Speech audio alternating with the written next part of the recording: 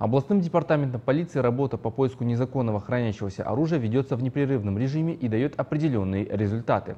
За первое полугодие текущего года полицейскими изъято 253 единицы оружия, 4431 единица боеприпасов, из них 17 автоматов, 70 пистолетов, 147 гладкоствольных, 19 нарезных ружей, а также 15 гранат.